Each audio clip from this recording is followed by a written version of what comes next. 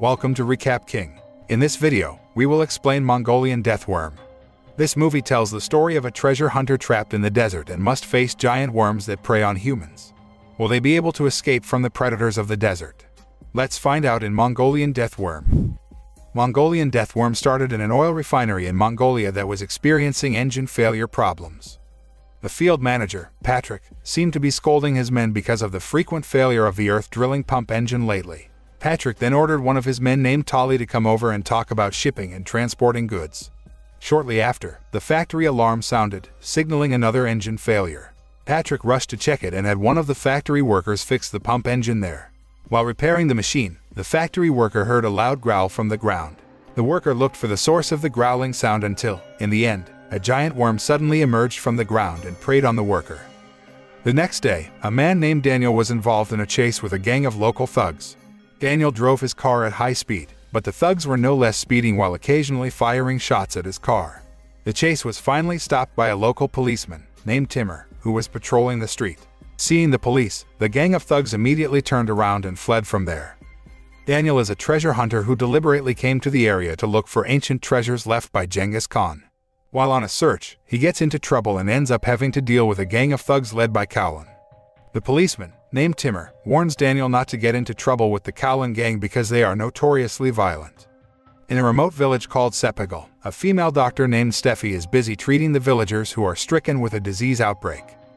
The residents fell ill because the river water in their village was contaminated with toxic substances, and it is not known what caused it. A local midwife, Thuan, only assisted Steffi. Due to the lack of medical personnel and medicines, the death rate from this deadly epidemic is increasing every day. Steffi was waiting for her colleague who was on their way to Sepigul to bring the medicines needed by the villagers. Elsewhere, two people are seen having problems with their car. Steffi's companions, Alicia and Philip, were on their way to Sepigul to bring medicine. Their car had an engine failure in the middle of the road, and now they are waiting for a passing car on the road to ask for help.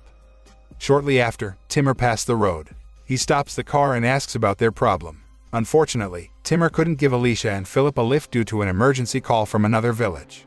Daniel, who happened to be passing by, was stopped by Timur and asked him to take Alicia and Philip to Sepigul. Daniel was reluctant to take them because he wanted to continue the search for his treasure. But Timur insisted. After the policeman left, Daniel told Alicia and Philip that he would give them a ride as long as they paid for it. Alicia was annoyed, but she and Philip had no other choice. They finally collected the money and gave it to Daniel. Meanwhile, Tolly notices a large hole in the site at the oil refinery where one of the factory workers disappeared near the pumping machine last night. He told Patrick a Mongolian myth about the sudden appearance of a large hole in the ground which was a sign that the death worm had awakened from its slumber. Patrick ignored Tolly's words. He insisted that all broken machines be repaired immediately.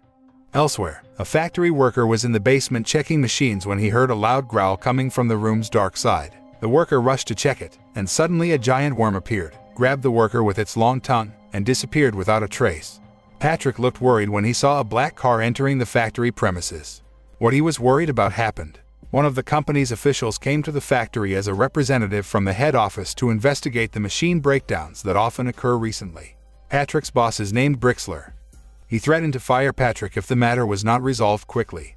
After Brixler left, Tolly approached Patrick and expressed the same concern. Patrick and Tolly are hiding a secret that causes the machine to fail so often.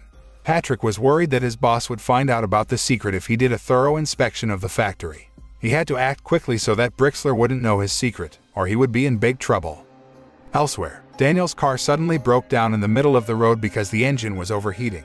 He then suggested that they hide in the forest because the gangs of Kowlin thugs always cross the road at night. Alicia and Philip initially refused because they didn't believe his words. But in the end, they agreed to hide in the forest because they thought of the dangers that lurked on the streets at night.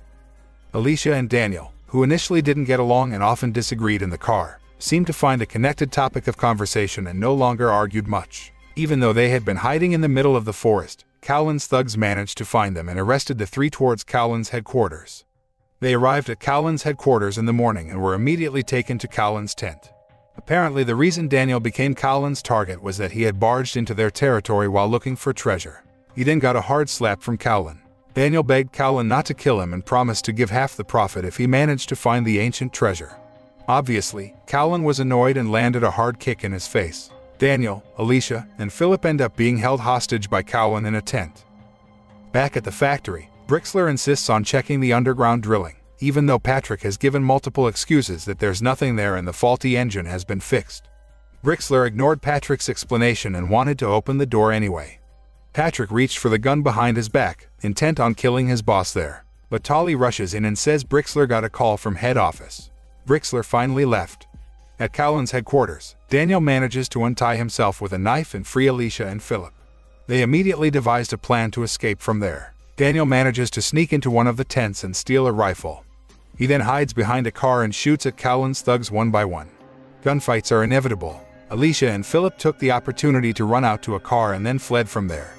Daniel is almost in a pinch because Cowan and his gang hurl bullets at him. But then help came from something unexpected. A swarm of giant Mongolian worms appears and begins to prey on the hordes of thugs, including their leader. Daniel saw the fuel tank near the location where the giant worm had appeared and immediately shot it with the remaining bullets. A great explosion occurred and burned the giant worm. Alicia and Philip make it to the location where Daniel's car broke down. They immediately transferred medical supplies and drugs from Patrick's car to the car they were using. Philip looks worried for Daniel and intends to come back to help him, but Alicia refuses because she believes Daniel can take care of himself. They had to hurry to Sepegel because the sick villagers were waiting for the medicines. While at the oil refinery, Brixler reported to the headquarters in America that the factory had to close temporarily because the damage was so severe. Not only that, they also had to bring in experts to repair the engine. While Brixler was still on the phone, Patrick suddenly came and hung up the phone. He then threatens Brixler with a gun and locks his boss in the basement. Daniel finally manages to escape from Kowlin's headquarters and head for his car. Luckily, the car engine started again, and he fled from there immediately. But when he was about to back the car, a giant Mongolian worm jumped on the hood of his car, and the other worms started arriving. Daniel did not flinch. He reversed the car, managed to knock the giant worm off the hood, and hit another giant worm. Alicia and Philip finally arrived at Sepegel. They then brought the medicines to Steffi and Thuen to give to sick villagers. Not long after, Daniel arrived in Sepegel. He warns Alicia and the others to move the patients to a safer place because giant Mongolian worms have started to roam near Sepegel. Alicia says that her phone doesn't work here. A local resident told them they could call and ask for help at a nearby oil refinery. Daniel and Alicia decided to seek help at the factory. Patrick and Tolly rushed to move a large crate from the basement to their truck at the refinery. The chest contains the ancient treasure of Genghis Khan, which has been the target of Daniel's search. Patrick managed to find a treasure tunnel while drilling for oil some time ago. Tempted to become rich, he ordered his men to drill deeper using a superheated high-voltage drilling machine. His greed wreaks havoc. The giant Mongolian worm, which had been sleeping peacefully for so long, finally woke up and started crawling out of the ground. After the sudden appearance of a large hole in the ground in the factory area, all factory employees went on strike for fear of the appearance of a giant worm that had only become a legend. It was very quiet at the factory when Daniel and Alicia arrived there. The two of them were then startled by a violent tremor on the ground. They were greeted with a gun from one of the factory employees. The factory worker named Bana did not allow Daniel and Alicia to enter the factory. But Alicia explained their purpose and revealed her identity as a doctor. Bana was touched by Alicia's actions. He then allowed Alicia to use the phone at the factory. Giant worms began to burst out of their nests and roam the factory area. A giant worm tries to attack Daniel and Alicia, but Bana manages to kill it. Meanwhile, a giant worm slithered down the pillar where Brixler was being bound in the dungeon. Seeing the huge, hideous creature, Brixler struggled, trying to free himself from his bonds. But of course, his efforts were in vain, and in the end, he became the food of the Mongolian giant worm. In the village of Sepegel, Philip and Thuen were about to fetch water from a well. Thuen went up to the mouth of the well to draw water. After drawing several buckets of water, she suddenly fell into the well. Philip, who panicked, then shouted for help until Steffi came. They were about to look into the well, but suddenly the well water, which was contaminated with Thuen's blood, spurted out of the well, and giant worms appeared out of the well. Luckily, Alicia managed to contact Timur and asked him to check the situation in Sepegel village because a giant worm appeared nearby. Timur immediately rushed, and just as Alicia said, the giant worms had surrounded the village. Timur grabbed his rifle and managed to kill all the worms. Back at the factory, Daniel and Bana rushed to the basement, trying to turn off the drilling machines because they are the ones that cause giant worms to wake up and terrorize the area. Daniel and Bana then heard a growl there, Bana immediately ran away because it indicated that there was a giant worm near them. But Daniel then remembered the myth that if you find a den of death worms, then the location of Genghis Khan's treasure is also there. Outside the factory, Bana meets Patrick and Tolly, who has just arrived. Anna then warns them to leave the factory immediately. But Patrick asks why the drilling machine is not working. Anna says that he deliberately turned off the drilling machine. Hearing this, Patrick then got angry and shot him in the head. Alicia is on the phone with the military and tells about the giant worm attack in the Sepegol village and the oil refinery. Alicia asked for help as soon as possible because the lives of the people here were in danger if the giant worms continued to roam. But then Patrick and Tolly came and threatened her with a gun. Patrick forces Alicia to come with him to the basement to catch Daniel. Daniel finally finds a treasure tunnel in the underground drilling room that Patrick and Tolly have been keeping secret for so long. Daniel was annoyed that the location of the ancient treasure he was looking for turned out to be under an oil refinery factory. Patrick and Tolly finally reach the basement. Patrick threatens Daniel and takes Alicia hostage. When Patrick's attention is drawn to the location of Brixler being held hostage, Daniel immediately attacks him, and the two get into a fistfight. When Daniel and Patrick were still fighting, suddenly giant worms appeared from the tunnel. Some are even larger than other worms. As the giant worms appeared, the ground beneath them shook violently. Everyone rushed to save themselves from being eaten by giant worms. But Tolly's fate was not as lucky as the others. A giant worm devoured him to nothing. Daniel and Alicia made it out of the dungeon. But as they walked down the hall at the factory, Daniel was curious about the pile of wooden crates in a room. He then opened the chests and surprised him because the wooden chests contained Patrick's treasures from the tunnel. Daniel was faced with two difficult choices save his life or transport the treasure chest. While Daniel is still hesitating, Patrick arrives who points a gun at him because he thinks Daniel will steal his treasure. Unexpectedly, Timur came and pointed his rifle at Patrick.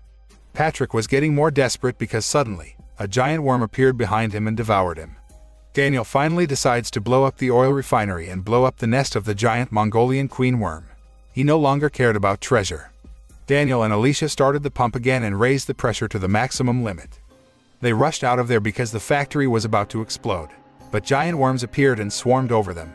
Timur managed to kill the worms, but unlucky, he ends up being eaten by the giant Mongolian worm queen who appears behind him. The ground shook violently. The pump engine started to smoke, and the fire had spread throughout the factory.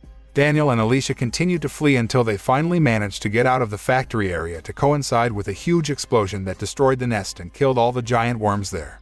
Daniel had a stroke of luck because the explosion blew out the ancient treasure buried beneath the factory. He then escorted Alicia back to Sepegol village.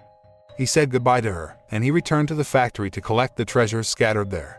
Daniel then promised to donate his wealth for the construction of a hospital in the village. He did not forget to return the money given by Alicia as the cost of taking them to Sepegol. The film ends,